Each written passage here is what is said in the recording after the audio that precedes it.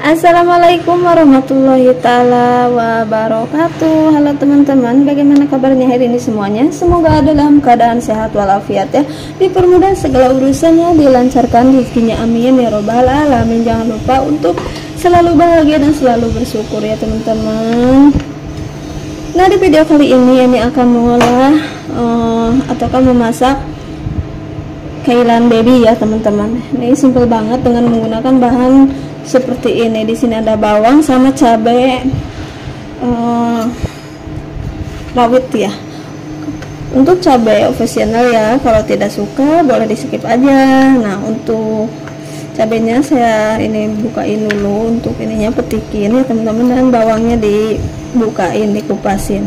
Nah teman-teman seperti biasa ya yang baru menemukan channel ini Askar mohon dukungannya dengan cara di subscribe like dan komen dan nyalakan lonceng notifikasinya biar ini selalu bersemangat membuat video-video yang lainnya dan teman-teman juga tidak akan ketinggalan untuk menonton video terbaru dari saya. Ada yang udah subscribe saya ucapkan banyak-banyak terima kasih. Yang belum semoga menyakrinya dan di share sebanyak-banyaknya. Terima kasih yang selalu hadir ya teman-teman. Terima kasih untuk yang selalu berbagi rezekinya untuk seperti atas seperti tengah ya teman terima kasih banyak. Semoga kebaikan teman-teman semua dibalas oleh Allah subhanahu wa ta'ala. Amin ya robbal alamin terima kasih yang suka share-share video saya. Terima kasih banyak ya.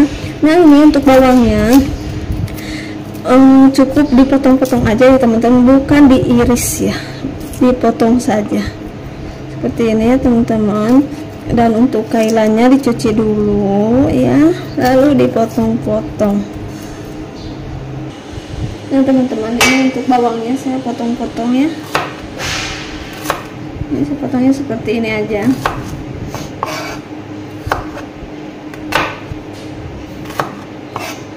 lakukan sampai selesai. Lalu sama ya untuk cabai sini saya cuma dibagi dua aja serong seperti ini. Ya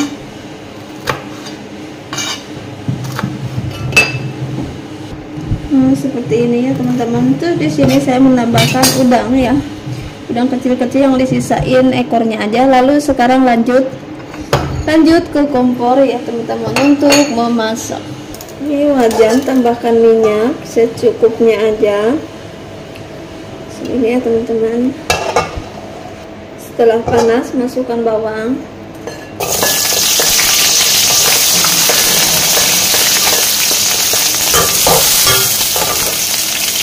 Nah ini udah harum teman-teman. Untuk bawangnya masukkan cabenya. Aduk kembali dan masukkan juga untuk udangnya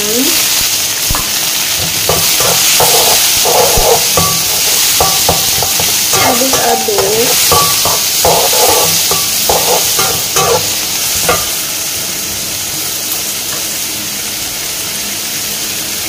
masukkan ini yang udah dipisahkan batang kailan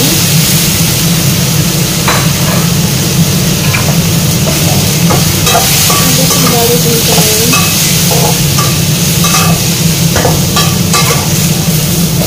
ini nyampe udah matang ya untuk tambahkan air aja teman-teman.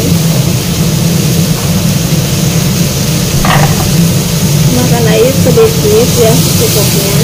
Lalu diaduk kembali. Nah setelah ini tambahkan. Di sini menambahkan lada atau pemeriksa bubuk ya teman-teman. Ini seujung sendok teh. Garam sedikit saja sekitaran seujung sendok teh ataukah setengah sendok teh. Kaldu jamur sekitaran sen, setengah sendok teh ya. Lalu tambahkan juga di sini saus tiram sekitaran satu sendok makan lebih nih teman-teman ya. Ketuang soalnya. Ini ini ya diaduk aja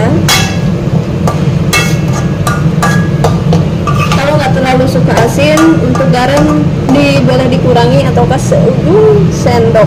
Teh aja dikit aja teman-teman. Karena ini dari uh, apa namanya dari saus tiram aja udah asin ya. Ini saya pakainya saus tiram capanda ya. Nah ini udah diaduk tercampur seperti ini ya. Boleh dimasukkan untuk daun cairannya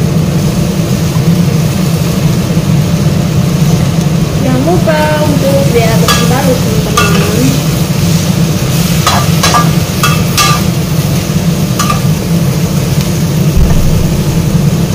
dikoseng dikoseng aja udah matang ya teman-teman. Menggunakan api besar teman-teman. Lalu matikan dan siap disajikan.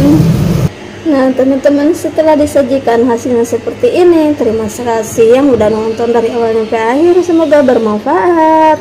Jangan lupa untuk mencobanya ya. Sekian dulu untuk videonya. Assalamualaikum warahmatullahi wabarakatuh